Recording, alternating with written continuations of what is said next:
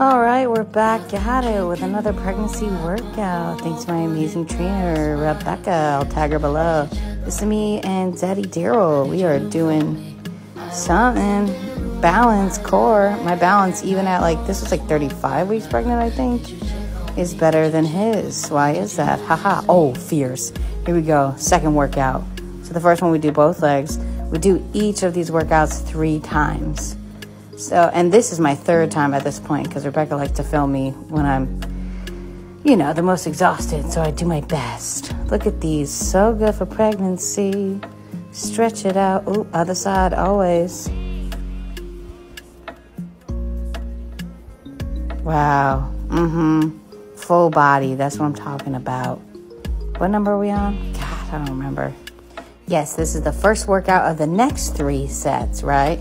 So we're down full body. Here's workout number two.